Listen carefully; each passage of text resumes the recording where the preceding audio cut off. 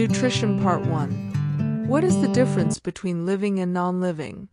If we see a dog barking, a cow chewing and grazing, or a man dancing, these are living beings. What if the dog, the cow, or the man were asleep?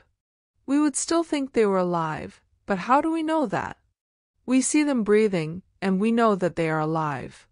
What about plants? How do we know that they are alive? We see them green, some of us will say. But what about plants that have leaves in colors other than green?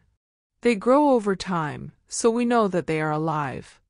In other words, we think of movement, either related to growth or not, as evidence of being alive. But a plant that is not visibly growing is still alive, and some animals breathe without visible movement.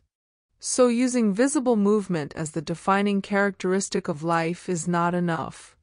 Movements of small scales will not be visible to the naked eye. Viruses do not show any molecular movement until they infect some cells, which is partly why there is a controversy about whether they are truly living.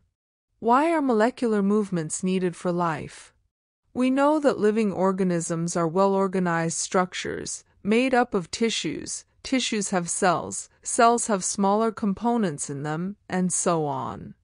Because of the effects of the environment, this organized, ordered nature of living structures is likely to keep breaking down over time. If the order breaks down, the organism will die. So living creatures must keep repairing and maintaining their structures. Since all these structures are made up of molecules, they must move molecules around all the time. We will learn about the maintenance processes in living organisms. What are life processes? The maintenance functions of living organisms must go on even when they are not doing anything. Even when we are just sitting or sleeping, this maintenance work goes on. Since these maintenance processes are needed to prevent damage and breakdown, energy is needed for them. This energy comes from outside the body of the individual organism. So there must be a process to transfer energy from outside the body to the organism, which is called food or nutrition. If the body of the organism is to grow, additional raw materials will also be needed from outside. Life on Earth depends on carbon-based molecules, as food sources are also carbon-based. Depending on the complexity of these carbon sources, different organisms use different kinds of nutritional processes. The outside sources of energy could be quite varied since the environment is not under the control of the organism. These sources of energy need to be broken down or built up in the body and finally converted to a uniform source of energy that can be used for the various molecular movements needed for maintaining living structures and body growth. For this, a series of chemical reactions in the body are necessary.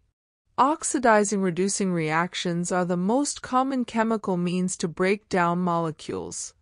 For this, many organisms use oxygen from outside. The process of acquiring oxygen from outside the body and using it in the breakdown of food sources for cellular needs is what we call respiration. In the case of a single-celled organism, no specific organs for taking in food, gas exchange, or the removal of waste may be needed because the entire surface of the organism is in contact with the environment. But when the size of the organism increases and the body design becomes complex? In multicellular organisms, all the cells may not be in direct contact with the surrounding environment. Thus, simple diffusion will not meet the requirements of all the cells. We have seen previously how, in multicellular organisms, various body parts have specialized functions to perform. See the video on Nutrition Part 2 and Digestion.